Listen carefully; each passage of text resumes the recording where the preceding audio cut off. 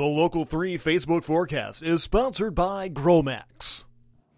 Hello, I'm meteorologist Tom Kipp and welcome to today's Local 3 Facebook forecast as we look at our wind gusts, the Star in-house computer model. The big story for our Thursday has been those strong winds and we're going to keep breezy conditions through Thursday night and early Friday morning. But as you can see, the winds will start to become calmer from west to east across upper Michigan as we head into Friday. You can see the stronger winds pulling off to the east by Friday afternoon, relieving the rest of upper Michigan with lighter winds. Temperatures, that's going to be the other big story We're going to see chilly temperatures when we wake up on Friday morning. We'll have low temperatures in the 20s. A few interior west sections could actually wake up to temperatures around the 20 degree mark or even into the teens. We'll keep temperatures in the 30s along the Lake Superior shoreline. And then mild air returns for Friday, especially closer to the Wisconsin border. We'll have high temperatures in the 50s, but areas along Lake Superior and even in the eastern UP will be slightly colder or even colder, let's call it, in the 30s and 40s for highs. And then Saturday, we got a pretty warm day on tap for Saturday